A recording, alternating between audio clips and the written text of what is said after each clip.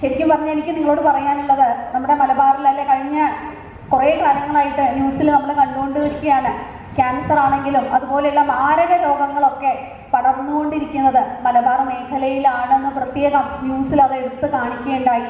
അവിടെ ഉപയോഗിക്കുന്ന എണ്ണയാണ് ഇതിന്റെ വില്ലൻ എന്നും പറയുകയുണ്ടായി. അതുപോലെ പാചകത്തിന് ഉപയോഗിക്കുന്ന മുളക് പൊടി മല്ലിപ്പൊടി ഇത് ഇതുപോലെയുള്ളതിലൊക്കെ മായം കലർന്നതായിട്ടുള്ള റിപ്പോർട്ടുകളെല്ലാം മലബാറിൽ ഏറ്റവും കൂടുതലാണ് എന്നുള്ളത് നിങ്ങളും കേട്ടിട്ടുണ്ടാവും.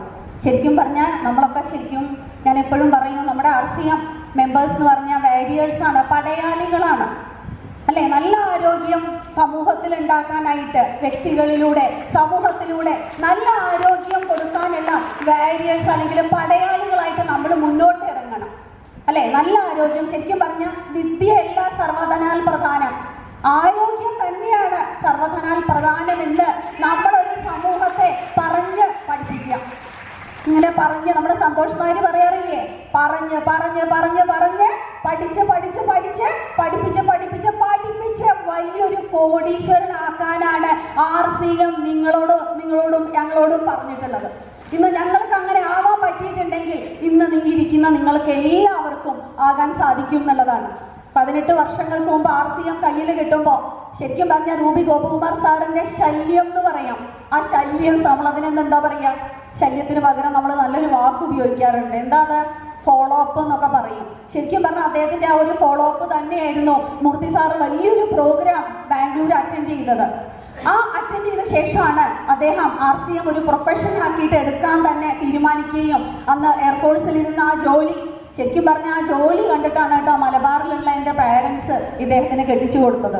ഇദ്ദേഹം ബിസിനസ്സിലേക്ക് പോകുന്നൊന്നും അവരൊന്നും ശരിക്കും പറഞ്ഞാൽ ഉറക്കത്തിൽ പോലും ചിന്തിച്ചിട്ടുണ്ടാവില്ല ഇതാണ് പറയുന്നത് നമ്മുടെ ജീവിതത്തിലൊക്കെ ഒരു ടേണിംഗ് പോയിന്റ് വരുന്നുണ്ട്.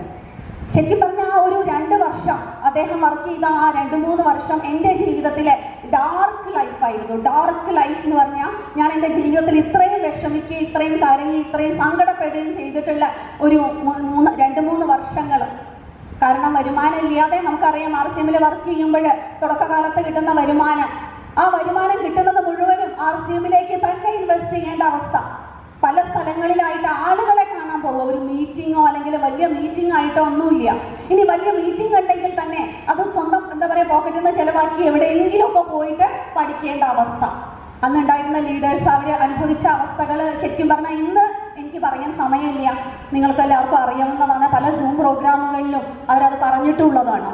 അപ്പോൾ ഞാൻ പലപ്പോഴും മൂർത്തി സാറിനോട് പറയാറുണ്ട് വെറുതെ ഈ ഓഫറുകളെ കുറിച്ചും പ്രോഡക്റ്റിനെ കുറിച്ചും ഒന്നും മൂർത്തി സാറും സുജിത് സാറും ഒന്നും പറയേണ്ട ആളുകളോട് you make a history of your your story നിങ്ങളുടെ സ്റ്റോറി മാത്രം ആളുകളോട് പറയുക എങ്ങനെ ഈ ഒരു സിസ്റ്റത്തിലേക്ക് വന്നു? കോർ ലീഡേഴ്സായി ആ ഒരു വിജയ കഥ മാത്രം ആളുകളോട് പറഞ്ഞു കൊടുത്താൽ മതി എന്ന് ഞാൻ എപ്പോഴും പറയാറുണ്ട്. എന്തിനു നമ്മൾ ഓരോ സെഗ്മെന്റ് ആയിട്ട് പറയണോ? അതിന്റെ ഒരു ആവശ്യമില്ല. അത് മാത്രം മതി. കാരണം ഇന്ന് സെഗ്മെന്റുകളെ കുറിച്ച് പറയാനും പ്രോഡക്റ്റുകളെ കുറിച്ച് പറയാനും നല്ല നല്ല പുലിക്കുട്ടികൾ നമ്മുടെ സിസ്റ്റത്തിലുണ്ടതേ നമ്മുടെ സുഭാഷ് സാറിനെ പോലെ. അല്ലെ? നമ്മുടെ വിനോദ് സാറിനെ പോലെ. ഒരുപാട് ലീഡേഴ്സ് നമുക്ക് എന്താ പ്രത്യേകം പേരെടുത്ത് പറയുന്നില്ല. ഒരുപാട് ലീഡേഴ്സ് ഡ്യൂപ്ലിക്കേഷൻ സംഭവിച്ചിരിക്കുന്നു. ശരിക്കും അത് തന്നെയാണ് വേണ്ടത്. ആളുകളിലേക്ക് നമ്മൾ ആർ സി എം എത്തിക്കുക എന്ന് പറയുന്നത്. ശരിക്കും പറഞ്ഞ ആൾ പലരും പറയാറുണ്ട് മാഡം ഞങ്ങൾ ഇങ്ങനെ പറയുന്നുണ്ട് പക്ഷെ അങ്ങോട്ടും ഇങ്ങോട്ടും വിചാരിച്ച പോലെ അങ്ങോട്ട് എത്തുന്നില്ല ആളുകളിലേക്ക് അവർ മൈൻഡ് ചെയ്യണില്ല എന്നുള്ളത്. ശരിക്കും അങ്ങനെ തന്നെയാണ്. തുടക്കത്തിൽ ഞങ്ങളൊന്നും പറഞ്ഞിട്ട് ആളുകളൊന്നും കേട്ടിട്ടില്ല. മൂർത്തി സാർ എപ്പോഴും പറയാറുണ്ട് ഒരു ടൈലർ ടൈലറിങ് പഠിക്കുന്നത് പഴന്തുണി വെച്ചായിരിക്കും. ആ പഴന്തുണി വെച്ച് ചവിട്ടി ചവിട്ടി ചവിട്ടി പിന്നെയാണ് അവർ ആ പുതിയ തുണിയിൽ ടൈലറിങ് പഠിക്കുന്നത്. അതുപോലെ തന്നെയാണ് ആർ നിങ്ങൾ ആളുകളോട് ആദ്യം പറയൂ അവരത് കേൾക്കില്ല. പക്ഷേ കുറെ കഴിയുമ്പോൾ നിങ്ങൾ പറഞ്ഞ് പറഞ്ഞ് നമ്മുടെ ആ റിപ്പീറ്റ് ചെയ്ത് പറയുന്നത് എന്തുകൊണ്ടാണെന്നറിയോ? കേട്ടിട്ടുണ്ടോ? നമ്മുടെ ട്രെയിനർ സന്തോഷ് വീഡിയോ കണ്ടിട്ടില്ലേ? അദ്ദേഹം ചില വാക്കുകൾ ഇങ്ങനെ എടുത്ത് എടുത്ത് എടുത്ത് പറയുന്നുണ്ടോ? ഞാനും പലപ്പോഴും വിചാരിച്ചിട്ടുണ്ട് അദ്ദേഹം എന്തിനാണ് ഇങ്ങനെ ഇങ്ങനെ അത് പറയുന്നത് പക്ഷെ അതിൽ ആണ് ആ ഒരു സ്റ്റോറി കിടക്കുന്നത്.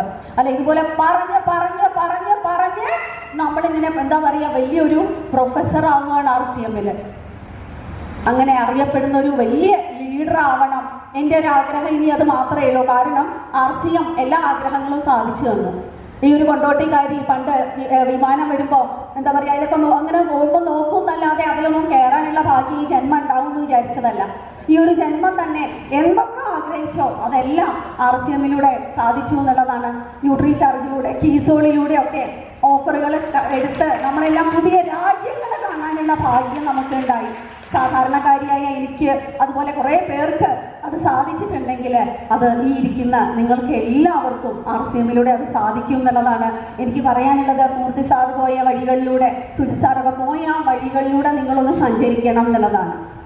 പലപ്പോഴും നമുക്ക് അറിയാം ആർ സി എമ്മിലെ ആളുകൾ അല്ലെ നമ്മളൊരു ടീമായിട്ടാണ് കൊണ്ടുപോകുന്നത്. ഇവിടെ സംഭവിക്കുന്നത് എന്താണെന്ന് വെച്ച് കഴിഞ്ഞാൽ ആളുകളെ ഉൾക്കൊള്ളാനുള്ള പ്രയാസം. ആളുകളെ ഉൾക്കൊള്ളാനുള്ള ഒരു capacity accept person as he is or she is എന്നാണ് നമ്മളെ ഡോക്ടർ സുരേന്ദ്ര വേർഡ് കഴിഞ്ഞ ട്രെയിനിങ് പ്രോഗ്രാമിൽ നമ്മളെ പഠിപ്പിച്ചത്. നമ്മുടെയൊക്കെ ഡയമണ്ട് നമ്മുടെയൊക്കെ അപ്ഗ്രേറ്റ് അപ്ലൈൻ ആ ഒരു കഴിവ് ആളുകളെ നൂറ് ശതമാനം അക്സെപ്റ്റ് ചെയ്ത് നമുക്ക് അവരുടെ സ്വഭാവം മാറ്റിയെടുക്കാനോ ഒന്നും നമുക്ക് സാധിക്കില്ല. പക്ഷേ അവർ ആർ സി എമ്മിൽ നിൽക്കുകയാണെങ്കിൽ സിസ്റ്റം അവരെ മാറ്റിക്കോളും.